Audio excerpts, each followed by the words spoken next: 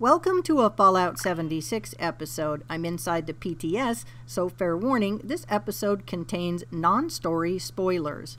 Here's a list of the new camp objects that you can obtain through rewards through either the Steel Dawn quest line or through the Holiday Scorched event that should be coming up next month. Now, first up, we have the Poodle Sleeping Bag. Then there is the Princess Castle Bed sleeping bag. It has two variants, the clean version as you see here and the dirty version in this photo. So that is the Princess Castle Bed sleeping bag.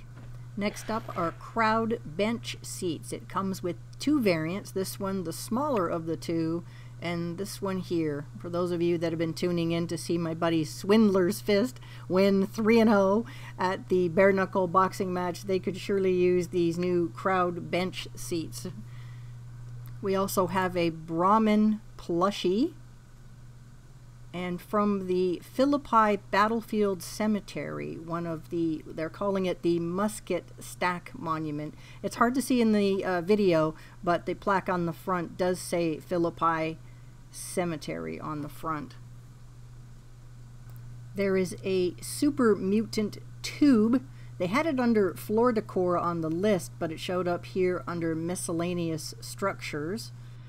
There were also a few lights. This is the new open sign, and this is the hello sign. I think it's interchangeable. You can kind of see one side says open, the other side says hello. I think they're still trying to work this out. Please understand it's still in the PTS.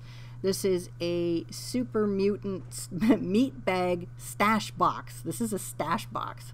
The other two things I could not find were the red truck lights and the asylum lights. I could not find those anywhere in the build menu, even though they were on the list in the PTS.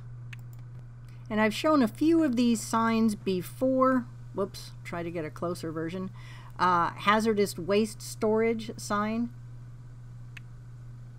restricted area sign.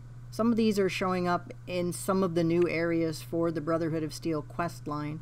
I like these, the uh, radiation hazard contamination area and also a different version variant. Radi oh, oh, sorry, this is a radioactive materials photography prohibited sign and a condemned notification sign warning this property is condemned. And one last one. This is the Mole Rat Wind Chime. Now, I did receive this out of one of the Scorched holiday gifts, the Mole Rat Wind Chime. So, this one is most definitely going to be inside the Christmas presents later this year.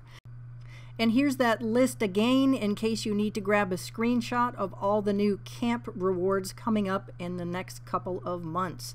Thanks so very much for watching and see you out in the wasteland.